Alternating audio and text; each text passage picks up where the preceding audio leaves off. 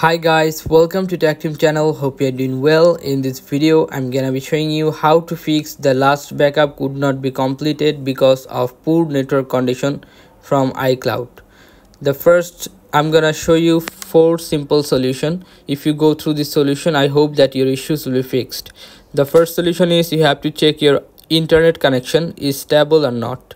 So how you can check this? Go to a browser and go any random uh, website. If it's loaded perfectly that's mean your internet connection is stable.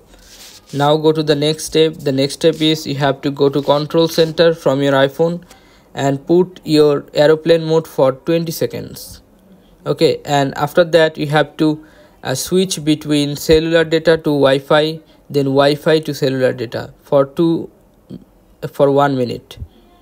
After that one minute or 30 seconds that's up to you not a problem. After that you have to sign out your apple id and sign back in. So in this case you have to go to settings from your phone click on your apple id the first option apple id name. Then you'll find here sign out option. Click on sign out. You have to give here the password.